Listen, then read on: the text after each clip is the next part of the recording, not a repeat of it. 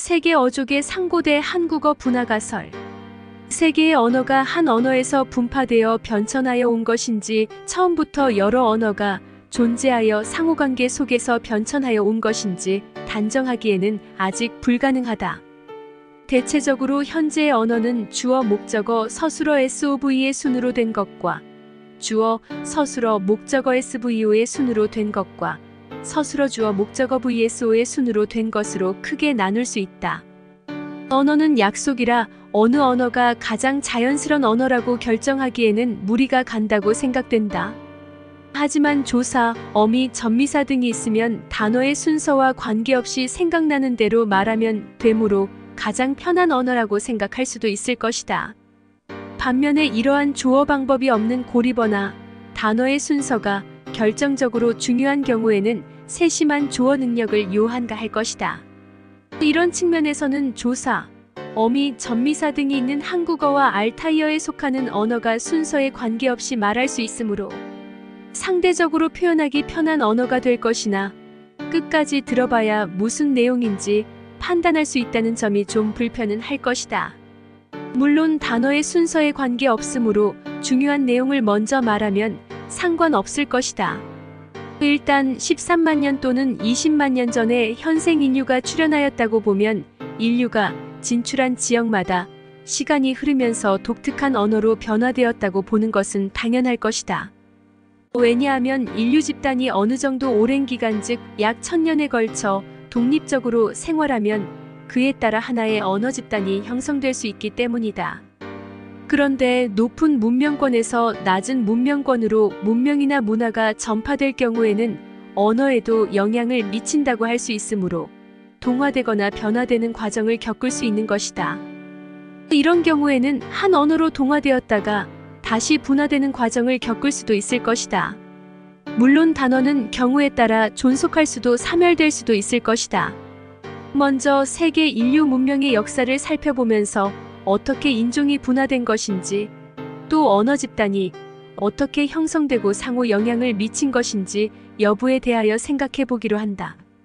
물론 여기서는 결론을 내리는 차원이 아니라 차후 더 많은 연구가 이루어져 명백한 결론이 나오게 되면 내용을 업데이트하게 될 것이며 우선 인간 문명의 역사와 이에 따른 어족의 분화 역사를 상관성을 전제로 하여 가설을 세워보는 차원에서 소개하고자 하는 것이다.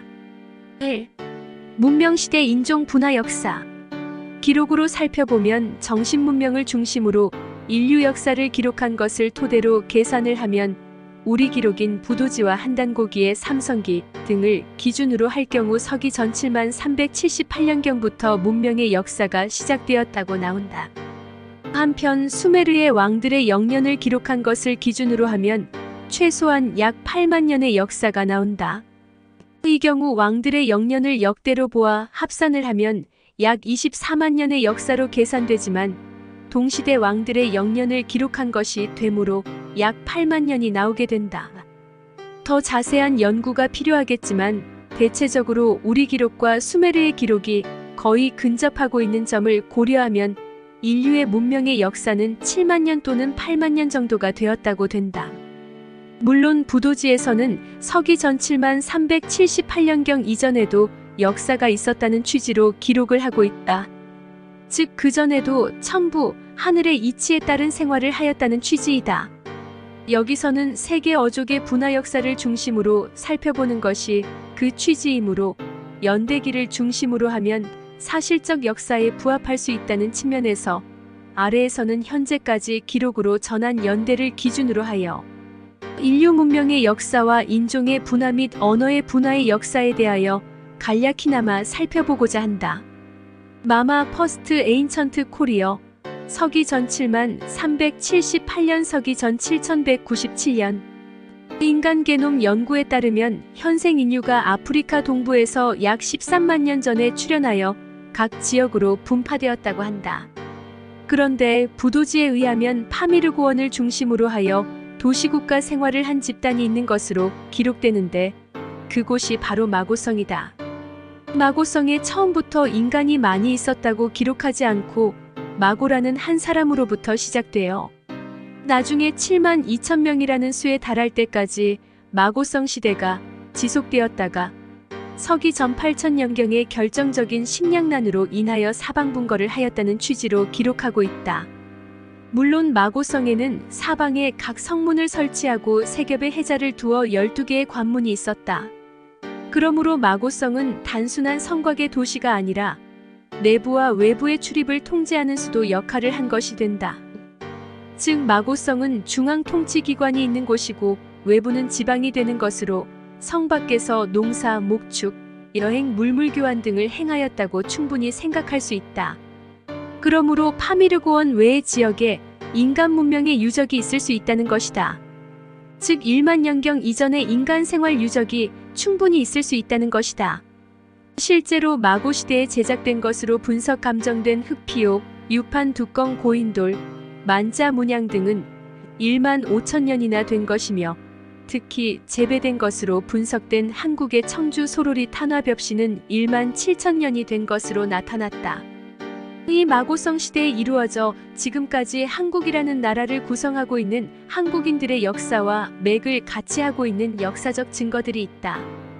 곧 천지인 삼태극 사상의 상징인 고인돌, 음양태극을 나타내는 귀걸이 방울, 북두칠성이 북극을 중심으로 하여 회전하는 모양을 나타낸 달력, 역법의 그림인 윷놀이판, 현대의 다수결 원칙의 원조가 되는 만장일치제 화백회 등이 있다.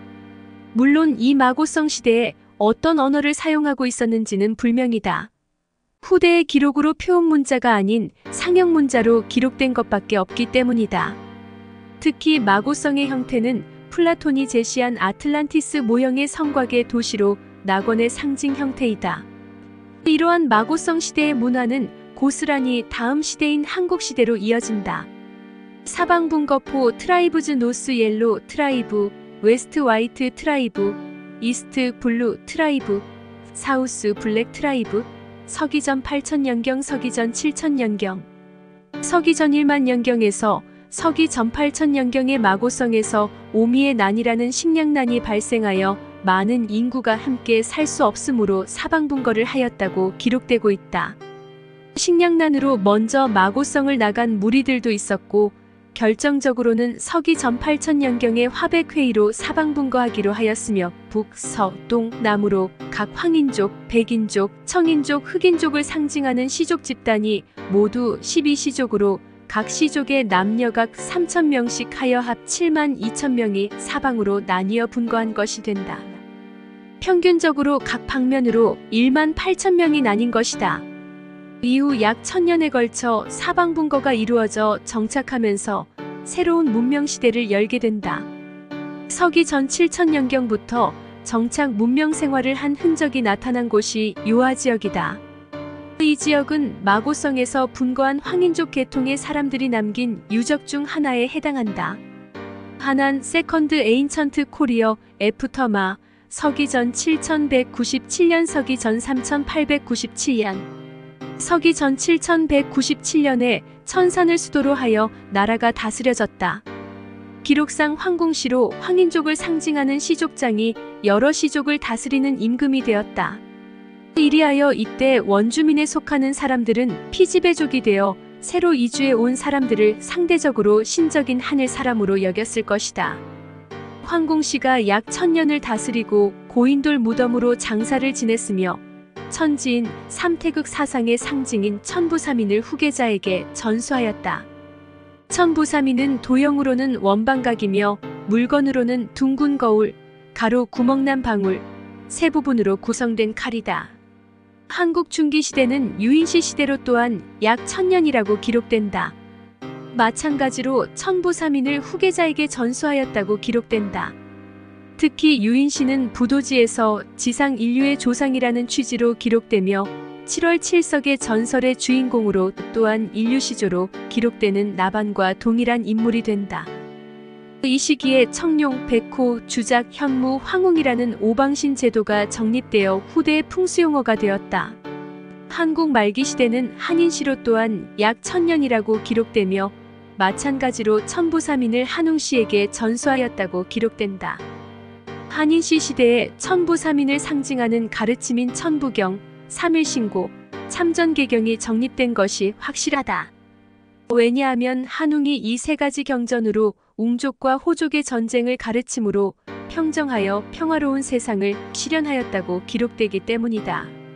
이 한국 시대에 12한국이 형제의 나라로 병존하였다고 기록된다. 즉 서기전 5천년경의 대홍수로 인하여 한인씨가 다시 구부족을 모아 나라를 정비하였다고 기록되는데 한인씨가 직접 다스리는 나라는 중앙정부에 해당한다.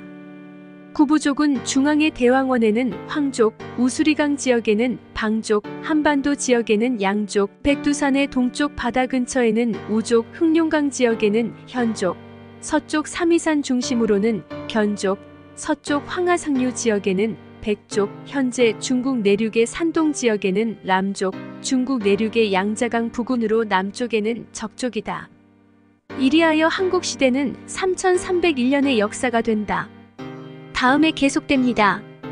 홍익인간 천부세상 억만세